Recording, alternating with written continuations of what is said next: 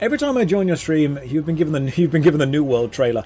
They are probably trying to get you to buy it, but I would advise against buying it, and I'll tell you the reason I would advise against buying it. It's because it's bad. Now that's that's my official stance against why you probably shouldn't spend all your money on it. Uh, I'm going to take... Let's attack the walking corpse here and then just choose me, so the tactics go to everything else. Tenwin, my goodness. Tenwin, you do realise you don't need to spend a dollar to make me see stuff. You can just message me on Discord for free. I mean, if you want to keep throwing money at me, be my guest. But you could do exactly what you're doing for free, and I guarantee I'll still respond.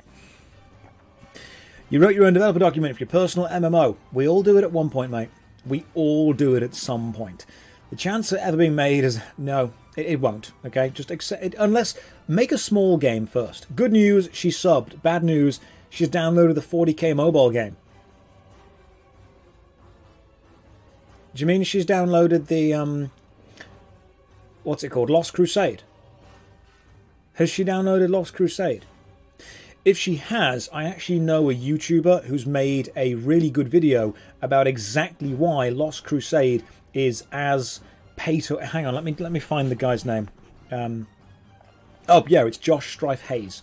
He has made a really good video about exactly how pay to win Warhammer 40k Lost Crusade is. I think it's called Warhammer 40k Lost Crusade is Heresy.